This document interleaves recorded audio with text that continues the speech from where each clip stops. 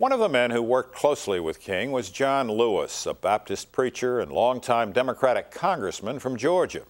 Lewis was a teenager when he first met King, and he suffered greatly for following King's vision to end segregation. Lewis says many activists saw the civil rights movement as an extension of their religious beliefs. He talked with Kim Lawton about the spiritual legacy of the civil rights struggle. During the 50s and the 60s, public parks all across the South segregated. These days, Congressman John Lewis often finds himself in the role of tour guide, reminding America of the painful days of the civil rights movement. On this afternoon, he's showing fellow members of Congress where some of the key events of the struggle occurred. I make a point uh, trying to take people back, and especially young people, and those of us not so young, back to the roots of the movement. For Lewis, those roots were not just social or political, they were deeply spiritual, a fact he fears is being lost as more time passes. I'm deeply concerned that many people today fail to recognize that the movement was built on deep seated religious convictions. And the movement grew out of a sense of faith faith in God and faith in one's fellow human being. Lewis got involved in the movement because of his own belief that all people were created equal in the image of God, worthy of dignity and justice. Martin Luther King Jr. inspired him to put those ideas into action. One Sunday, I heard Dr. Martin Luther King Jr. preach on the radio. I was 15 years old in the 10th grade.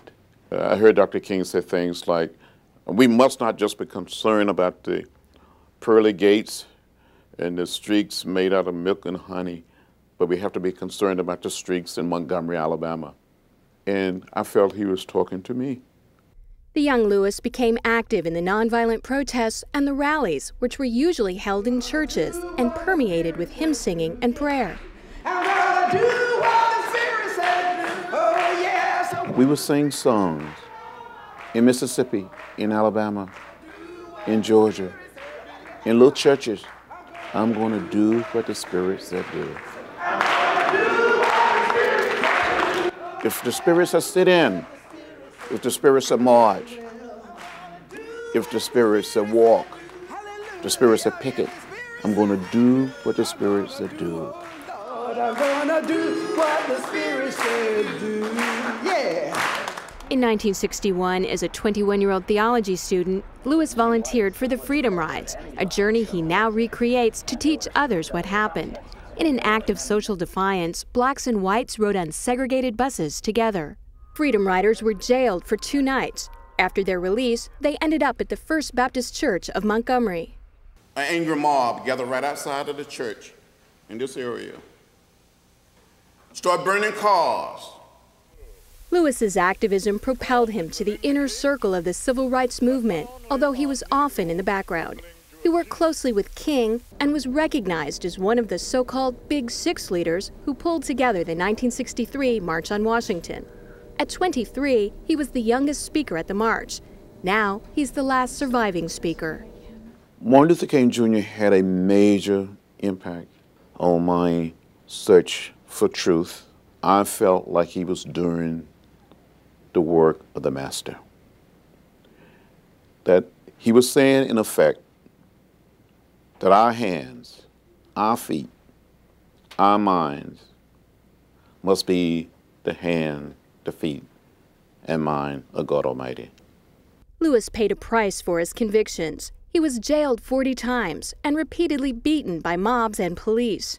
One of the most devastating incidents took place on March 7, 1965, Bloody Sunday. 25 year old Lewis, in a tan trench coat and black backpack, led 600 marchers across the Edmund Pettus Bridge in Selma, Alabama. State troopers attacked. Lewis was one of the first to fall. He was beaten unconscious and nearly died. Today, Lewis is welcomed as a hero when he visits Alabama. Local police, many of them black, escort him around town. Good to see you. You went through so much. How did you move beyond it without becoming paralyzed by hate? At a very early stage of the movement, I accepted the teaching of Jesus, the way of love, the way of nonviolence, the spirit of forgiveness and reconciliation.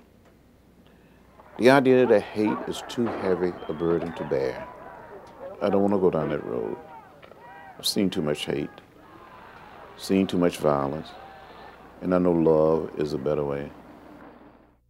Nearly four decades after he fought for voting rights, the 65 year old Lewis is an elected official, serving in his ninth term as a member of Congress. He describes himself as uncomfortable in the limelight. The conscience of the House of Representatives of the United States, Congressman John Lewis. But when he steps into the pulpit, as he did at this rally for immigrant workers' rights, his preaching style as a Baptist minister is clear. In Montgomery, an angry mob met us in May of 1961, beat us. I was beaten, left lying bloody and unconscious, but I didn't give up. You must not give up. Lewis says it was the courage and the unified work of religious leaders across the spectrum that fueled the civil rights struggle. He regrets more of that isn't happening now.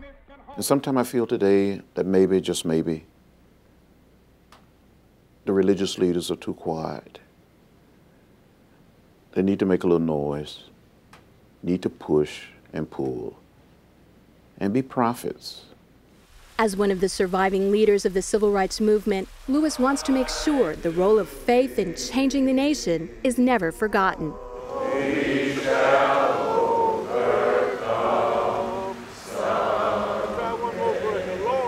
Sometimes when I look back and, and, and think about it, how did, how did we do what we did? How did we succeed? We didn't have a website. We didn't have a cellular telephone.